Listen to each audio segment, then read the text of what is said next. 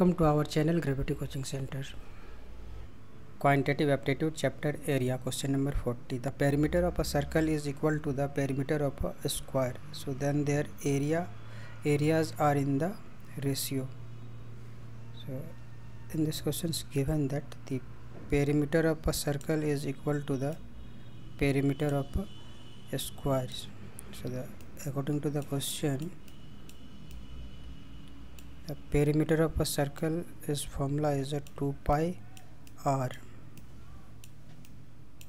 equal to the perimeter of square equal to 4 into side. So suppose side is a. Cancel by 2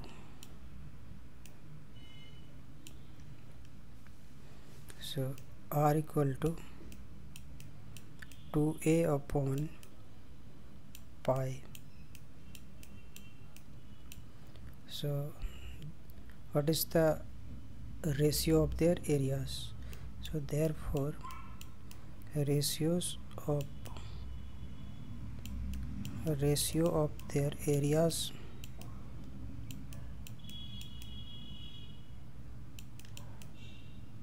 their areas equal to its formula is area of the circle equal to pi r square upon area of the square is side square means a square. So now we put the value of r. So pi into the value of r is a 2a upon pi whole square upon a square equal to pi into 4a square upon pi square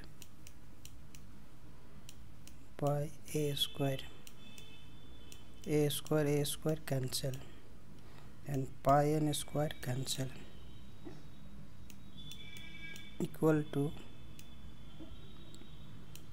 4 by pi.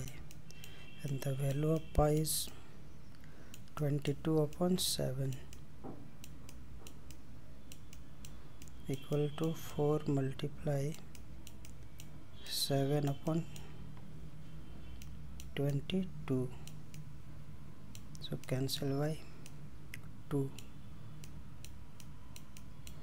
equal to 14 upon 11 equal to 14 ratio 11 which is the required answer.